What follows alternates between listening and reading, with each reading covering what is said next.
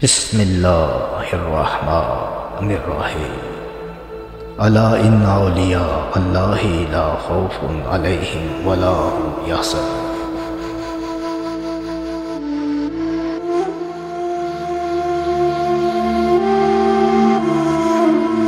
बिस्मिल्लाहिर्रहमानिर्रहीम। हज़रत अली करमल्ला वजल करीम का लक़ब शेर खुदा है और आप रसूलुल्लाह सल्लल्लाहु अलैहि वसल्लम के बरदर वही तमाम अलिया बुज़ुर्गान दीन के पेशवा इमामशारक वलमगारब आमिरमिन वलमसलमिन हज़रत अली इबन अबी तालिब, इबन अब्दुलमतलब इबन हाशिम हैं। आप रज़ी अल्लाह तह का घराना हाशमी है। आपकी वालदा माजदा फ़ातिमा बिनत असद बिन हाशिम थी। आपकी विलादत मुबारक तेरह माह रजब जुमे के दिन खान काबा के अंदर हुई। ये सआदत अज़ल से अब तक किसी इंसान को नसीब नहीं हुई। इस सआदत की वजह से आप रज़ी अल्लाह तु को मौलूद काबा के लक़ब से भी याद किया जाता है।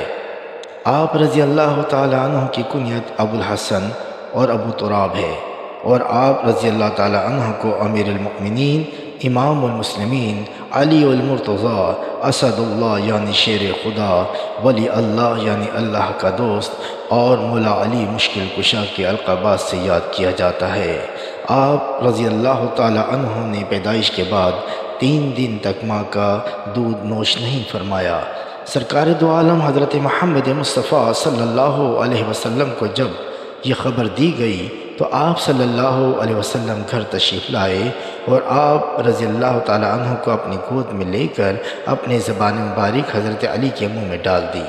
आप सल्लल्लाहु अलैहि वसल्लम के ज़बान मुबारक को चूसने के बाद हज़रत अली करमल्ला वजहल करीम को करार व सकून हासिल हुआ। हज़रत अली पाँच साल के हुए तो सरकार दो आलम सल्लल्लाहु अलैहि वसल्लम आपको अपने पास ले आए। और हजूर सल्लल्लाहु अलैहि वसल्लम ख़ुद हज़रत अली की तरबियत फरमाते रहे। जिस वक्त आप सल्लल्लाहु अलैहि वसल्लम ने नबूत का ऐलान फरमाया, इस वक्त हज़रत अली रज़ील्ला तह की उम्र मुबारक दस साल की हो चुकी थी। हज़रत अली करमल्ला वजहल करीम बच्चों में सबसे पहले दिन इस्लाम कबूल फरमाने वाले हैं। हज़रत अली करमल्ला वजहल करीम हमेशा क़ैद आलम अलैहि वसल्लम की खिदमत अकदस में रहते थे।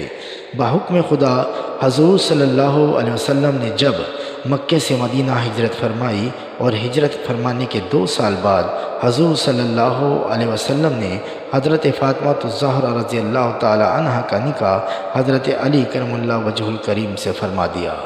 शवाहिद नबूबत में लिखा है कि हज़रत अली करमल्ला वजहुल करीम बारह इमामों में इमाम अव्वल हैं। हदीस पाक का मफहूम है, आप सल्लल्लाहु अलैहि वसल्लम ने फरमाया कि मेरे बाद बारह इमाम मेरे खलीफा होंगे। सैर अलिया में हज़रत निज़ामुद्दीन अलिया रहमत फरमाते हैं, हज़रत अली करमल वजुल करीम, तमाम असाब कराम रजवान अजमाइन में जूद करम, बख्शिश अता और फ़क्र दुआ में सबसे मकबूल थे। और क़वत और शौकत की वजह से अल्लाह रब्ज़त की बारगाह से आप रज़ी अल्लाह को असदुल्ला गालिब का ख़िताब अता हुआ। और हजूर रसालत माब सल्ला वसल्लम की हदीस पाक का मफहूम है कि अना मदीनतुल्म व अलीबाबुहा मैं इल्म का शहर हूँ और अली इसका दरवाज़ा है। हदीस पाक की रोशनी में हज़रत अली करम वजह करीम की इल्मी बसीरत और फजीलत तमाम असाब कराम में मखसूस आला अरफा है। इसी वजह से हज़रत उमर बिन ख़त्ताब रज़ी अल्लाह तु फरमाया करते थे कि अगर अली ना होते तो उमर हलाक हो जाता। और ख़रक़ा फ़क्र विलायत की खिलत जो हजूर अलैहि वसल्लम को अल्लाह रब्ज़त की तरफ़ से शब मराज में अता हुई, वो खिलत मुबारक भी चारों खुलफ़ राशिदीन में से हज़रत अली करम वजह करीम को अता की गई। फ़रक़ा विलायत और दसार खिलाफत अता करने की ये सुन्नत मुबारक अलिया कराम और मशाइ अवज़ाम में क़्यामत तक जारी रहेगी और दीन के इस काम में इनकी वजह से बड़ी इस्तकामत और बरकत अता हुई और रूहानियत में आप रज़ी अल्लाह तह का दर्जा व मकाम बहुत बुलंद और शान मुबारक बहुत अरफा आला है। किताब रोज़ातुलशहदा में इमाम अहमद बिन हम्बल रज़ी अल्लाह तु फरमाते हैं कि हजूर सल्लल्लाहु अलैहि वसल्लम के असाब कराम में से किसी एक सहाबी से हमें इतना इल्म नहीं पहुँचा है जितना कि हज़रत अली करम वजह करीम की ज़ात अकदस से हम तक पहुँचा है। किताब रोज़ातलहबाब में हज़रत जाबिर बिन अब्दुल्ला अंसारी रज़ी अल्लाह तह से रिवायत है कि ताइफ़ के मकाम पर हजूर सल्लल्लाहु अलैहि वसल्लम ने हज़रत अली करम वजह करीम को अल्लाह ताला के हुक्म से उलूम ज़ाहिर और बातिन की तालीम फरमाई और इसरार रमूज से आगाह फरमाया। किताब रोज़ा रोज़ातुलशहदा में लिखा है, हज़रत अली करम वजह करीम ने इल्म मारिफत और हकीकत के वो इसरार रमूज बयान फरमाए हैं जो आपसे पहले ना किसी ने बयान किए और ना आपके बाद किसी ने बयान फरमाए। किताब शवाहदुलनबूत में हज़रत अली करम वजह करीम की शान मुबारक में सही रिवायत से साबित है कि आप रज़ी अल्लाह तु अपनी सवारी के रकाब में कदम मुबारक रखते थे तो कुरान पाक शुरू फरमाते थे और अपना दूसरा कदम मुबारक रकाब में रखते हुए कुरान पाक ख़त्म फरमा लिया करते थे। किताब शवाहदुलनबूत में हज़रत बीबी फ़ातिमा तो ज़ाहरा रज़ी अल्लाह तह से रिवायत है कि हजूर सल्ला वसम ने हज़रत अली करम वजह करीम की शान में फ़रमाया कि ए फ़ातिमा, तुमको मुबारक हो नस्ल की पाकिजगी की। बेशक अल्लाह ताला ने तुम्हारे खामिंद अली को तमाम मखलूक पर फजीलत अता फ़रमाई है। सहासत्ता की तमाम कुतुब हदीस में मुतफ़ रिवायत है कि हजूर सल्लल्लाहु अलैहि वसल्लम ने फरमाया, हज़रत अली करम वजह करीम, मेरे खलीफा हैं, मेरी ज़िंदगी में और मेरे बाद मेरी उम्मत पर।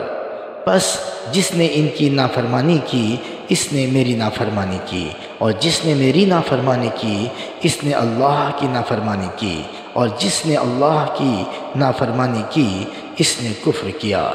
एक और हदीस पाक में हज़रत अली की शान मुबारक में रिवायत मौजूद है कि हजूर अलैहि वसल्लम हज़रत आयशा सदीक़ा रज़ी अल्लाह तहों के घर तशरीफ़ फरमा थे और हज़रत अली करम वजल करीम हजूर अलैहि वसल्लम की बारगाह अकदस में हाजिर हुए। तो आप अलैहि वसल्लम ने हज़रत अली को देख कर फरमाया, ये सैदुल अरब हैं, यानी अरब के सरदार हैं। हज़रत ख्वाजा हसन बसरी रज़ी अल्लाह तहों ने हज़रत अली करम वजह करीम से अर्ज़ की कि मुझे वसीयत फरमाइए। तो हज़रत अली ने आपको वसीयत फरमाई, तुम अपने अहल आयाल में इतना मशगूल ना हो जाओ कि अल्लाह की याद और इसकी बंदगी करने में तुमसे गफलत होने लगे। हज़रत अली करम वजुलकरीम करीम, हज़रत इमाम हसन आसमाम और हज़रत इमाम हुसैन आसमाम जैसी हस्तियों के वालद बुज़ुर्गवार और तमाम कराम और बुज़ुर्गान दीन के रूहानी पेशवा हक़ और उम्मत मुसलमा के अमीरमिन और मौलाए कायनत हैं। हज़रत अली करम वजल करीम के दर्जात व कमालत और मनाकबात और शान मुबारक को मुकम्मल तौर पर दायरे तहरीर या कलाम में लाना मुमकिन नहीं। अल्लाह रब्ज़त की बारगाह में दुआ है कि मौला मुश्किल कुशा के सदक़े अल्लाह ताली हमारी दीनी और दुनियावी मुश्किल में आसानी अता फ़रमाए। आमीन। अली इमाम मनस्तो, मनम ग़ुलाम अली। हज़ार ज़ाते गिरामी।